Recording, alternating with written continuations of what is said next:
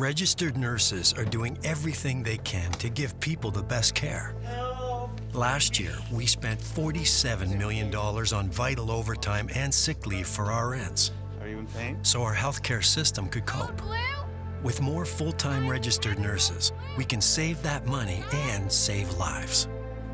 More full time RNs can save a lot. Michelle, we need you. A message from the Registered Nurses Union of Newfoundland and Labrador.